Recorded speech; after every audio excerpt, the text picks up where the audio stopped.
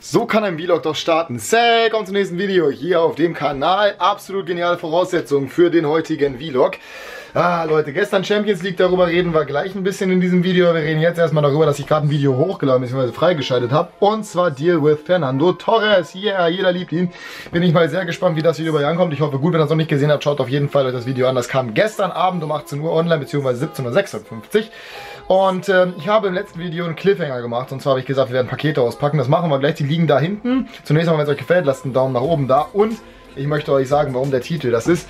Es war für mich bisher der geilste Tag dieses Jahres, ganz ehrlich. Wer mir auf Instagram nicht folgt, der sollte es auf jeden Fall sowieso tun. Aber da seht ihr ein Bild, wo ich am Masch sehe. Ich habe übrigens geilste Kombination hier. Eine Jogginghose, in Kombination hier mit Hemd und... Ja, ja, Stilsicher, stilsicher, liebe Freunde. Ähm, ich war am Maschsee heute und es war wunderschönes Wetter. Weil Winter, Sonne, aber so leicht Richtung Frühling, die Vögel zwitschern wieder, es war warm sogar, Dämmerung jetzt gerade, das war alles, das war einfach nur richtig herrlich. Und äh, von daher hat mir das sehr gut gefallen. Ihr könnt mir gerne mal in die Kommentare ballern, ob ihr das auch so feiert, dieses sommerlich, äh, winterlich, äh, frühlingshafte, angehauchte Wetter. Ich muss aber die Kamera hinstellen, dann machen wir die auf, die Pakete. So, und ich hoffe ganz stark, dass ich dafür keine, keine Messer brauche. Oder keine Gabel, wie ich eigentlich sagen wollte. Ähm, was habe ich denn bestellt, liebe Freunde? Ich habe ein Buch bestellt. Ich habe noch andere Sachen bestellt. Das Paket Nummer 1. Das ist jetzt bereits leer, wie ihr hier sehen könnt. Da haben wir noch Paket 2 und Paket 3. Ähm, warum drei Pakete? Ich weiß nicht, warum sie separat gekommen sind, aber das eine war auch ein bisschen schwerer zu liefern. Es ist folgendermaßen. Und zwar habe ich ähm, in den letzten Tagen sehr viel Musik gehört. Unter anderem ähm, eine Menge ja, neue Musik, beziehungsweise Musik, die ich vorher nicht so gehört habe. Ich habe in den letzten Monaten, beziehungsweise die letzten Wochen, eigentlich eher auf dem Hardware-Trip, haben die ein oder andere von euch, vor allem, ähm, ja, die auf Instagram folgen, wenn sie die Story mal gesehen haben, mitbekommen. Guck mal, hier sind drei Sachen drin. Ähm, aber auf jeden Fall Hardware extrem gefeiert, extrem gesuchtet auch und dementsprechend mal wieder ein bisschen andere Musik jetzt gehört. Und dann ähm, bin ich auf einen Typen gestoßen, den ich mochte vorher schon, den ich aber nicht so krass fand, den ich mittlerweile aber ziemlich, ziemlich nice finde. Und ein Lied habe ich von ihm gehört, jetzt sind die Pakete übrigens alle leer hier. Äh, ja. Äh, ein Lied habe ich von ihm gehört und da habe ich mir entschieden, ich werde jetzt Fan von dem und kaufe mal das Album. Und dann war ich auf Amazon, habe mir das Album da bestellt, dann dachte ich mir, hm, eigentlich müsstest du, weil ich habe von Macklemore ein Album im Auto, und zwar This Unruly Method Ich habe übrigens in meinem Auto nicht die Möglichkeit, irgendwie andere Sachen als CD abzuspielen und Radio. Dementsprechend, ja, deswegen lohnt sich CDs und allgemein will ich jetzt anfangen CDs zu sammeln, weil ich zeige gleich meine Buchsammlung. Ähm, ja, habe mich entschlossen, mir dieses Album zu holen. Dann dachte ich mir, von Macklemore hast du ein Album, aber du hast von einem anderen Lieblingsrapper kein Album. Holst du dir das mal. Dann konnte ich mich entscheiden, für welches habe ich ein zweites geholt. Dann dachte ich mir, hm, dann brauchst du auch von Macklemore noch ein zweites. Und dann dachte ich mir noch, wer hörst du momentan noch so extrem gerne? Und von dem ich auch noch ein Album. Also im Endeffekt habe ich mir fünf Alben gekauft und ein Buch gestern. Sehr erfolgreicher Tag. Und ähm, wir fangen mal an mit dem Album, was ich mir als erst gekauft, beziehungsweise womit das Ganze angefangen hat, der Wahnsinn. Und zwar Rag Bone Man, Human. Sehr, sehr geiles Album, hoffentlich. Äh, die Lieder, die man eventuell kennt, sind bisher Human und Skin. Ich glaube, die anderen kennt man gar nicht so extrem, aber es gibt auch noch sieben Bonus-Tracks, und zwar The Fire, Fade to Nothing, Life in Her, äh, Life in Her Yet, genau, Your Way on the Rope, nee, or the Rope, Lay My Body Down, Wolves und Healed. Hört sich sehr, sehr nice an. Der Typ ist extrem sympathisch, finde ich. Eine sehr geile Stimme und dazu keine Ahnung, der sieht auch cool aus irgendwie. Deswegen, ich werde jetzt Fan von dem. Das zweite Album war dann Eminem, Recovery, mein Lieblingsrapper. Und ähm, ja, das war das Album beispielsweise mit Not Afraid oder auch Love the Way You Lie mit Rihanna. Won't Back Down featuring King und No Love äh, featuring äh, Lil Wayne. Talking to Myself kennt man eventuell noch. Dann äh, Going Through Changes, äh, Seduction. Das sind alles richtig geile Lieder. Almost Famous, You're Never Over. Das äh, ist ein geniales Album, hoffe ich. Ja, hab's natürlich noch nicht gehabt, aber hab die Lieder, Lieder natürlich teilweise. Und äh, das werde ich mir auf jeden Fall durchsuchten. Ich kann das Hardware aber auch auswendig, obwohl da nicht mal Text bei ist bei den meisten Liedern, aber naja. So, wie gesagt, dann dachte ich mir, du brauchst noch ein zweites Album von Eminem, beziehungsweise ich komme nicht entscheiden, welches ich mir hole. Deswegen haben wir nur noch Curtain Call geholt.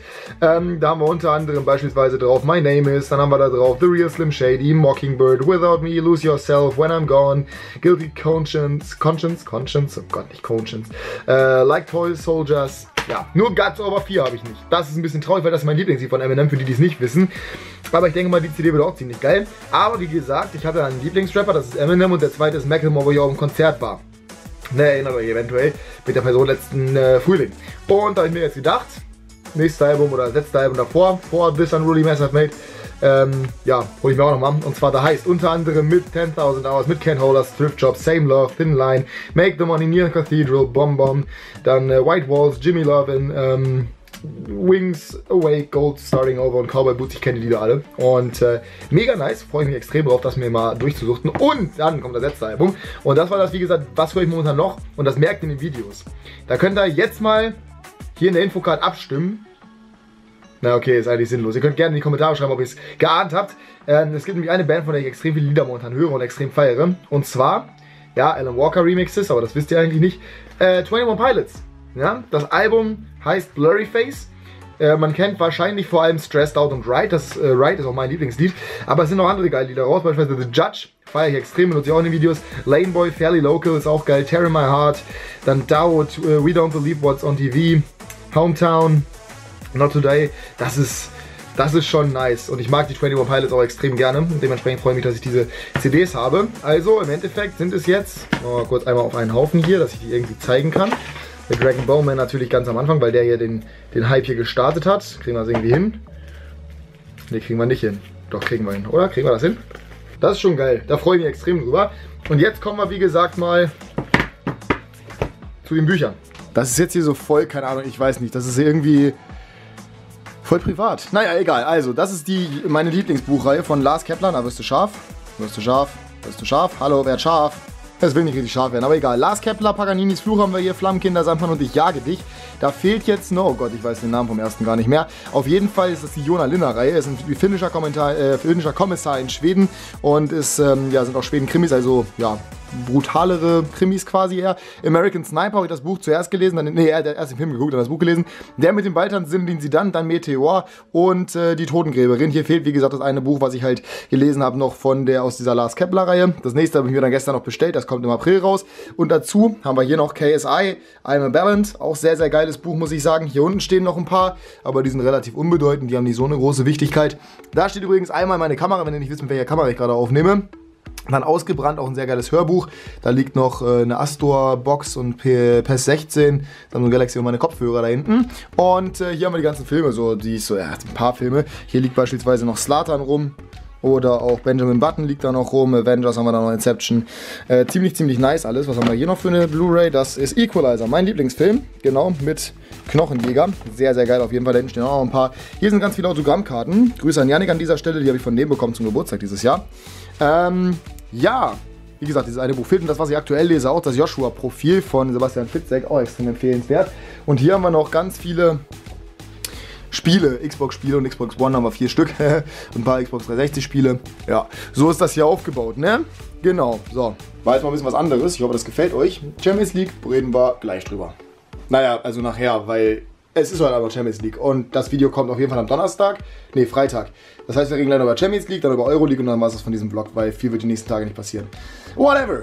So, mittlerweile ist Donnerstagnachmittag, hier gerade Mittagessen, so ein einfacher Fertigburger. Das ist an sich so ein Scheißessen, ne? aber es ist halt einfach, schon mit Barbecue-Soße noch dazu. Es ist so einfach, es dauert eine Minute und dazu einen schönen Almond Pumpkin Crisp und Cereal Riegel von Vasa. No Product Placement natürlich. Ja, ansonsten läuft hier gleich Netflix. Das heißt im Endeffekt ähm, ja White Collar und hier ich zeige das ganze Team noch nicht. Ihr seht nur Oblak. Das ist mein neues Weekend League Team, beziehungsweise ich versuche mich gerade zu qualifizieren. Da seht ihr die Außenverteidiger. Ja, mal schauen, wie das jetzt gleich laufen wird. Ich bin jetzt im Halbfinale. Mal sehen, ob ich das noch schaffe. Und ansonsten, ja, gibt es eigentlich nicht viel zu sagen gerade. Ich komme normalerweise echt selten zu spät, ne? aber gerade wird die Kamera nicht scharf. Und ich bin tatsächlich mal zu spät. Das geht ja gar nicht. Hallo? Aha. Äh, ich bin tatsächlich mal richtig zu spät, fast eine halbe Stunde, weil ich was vergessen habe. Das passiert mir normalerweise halt wirklich nie. Aber naja, immer noch besser als Özil gestern gegen Bayern. Der ist nämlich gar nicht aufgetaucht. Regan Bowman, geiler Typ übrigens, habe ich ja gestern im Video ähm, gemacht. Und zum Thema Champions League könnt ihr euch den Vlog auch angucken, weil ich habe da glaube ich genug über Champions League geredet. Und an welchem Video? Nein, in der Squad Building Challenge. Squad Building Challenge kommt auch heute. Da rede ich heute Champions League. Da habe ich genug darüber geredet, deswegen mache ich hier jetzt nicht mehr. Abgesehen von dem Özil-Witz. Schon wieder unterwegs, das ist unglaublich. Auf geht's nach Hannover. Äh, Euroleague möchte ich kaum was zu sagen. Schalke gewonnen, Florenz gewonnen gegen Gladbach, glücklich dank Schiri. Ich wünsche euch einen schönen Tag noch. Wir sehen uns morgen. So, wieder beim Training gewesen, mittlerweile ist es Samstag. Ja, warte mal, wo ist das hier da? Nach da hinten? Ja, das sieht man jetzt nicht. Man hat meine wunderschöne Hand. Wir fahren wieder zu äh, Meckes aber wir holen uns nur Krusty Pommes. Ähm, und Fuden dann und dann Bundesliga und danach melde ich mich nochmal. Boah, die besten Burger macht man selber. Und zwar in so einem geilen Grill hier. Optimal. Kannst du aufklappen, glaube ich, ganz. So, jetzt kommt die da rein, dann wird das richtig gut. Oh, yes. Oh. Können wir eine Sekunde. Oh, ist das geil. Wahnsinn. Wahnsinn. Und hier sind die Brötchen drin. Oh, perfekt. Oh, sieht das geil aus. Ich kann es einfach nur sagen. Es sieht einfach nur... Oh, unglaublich.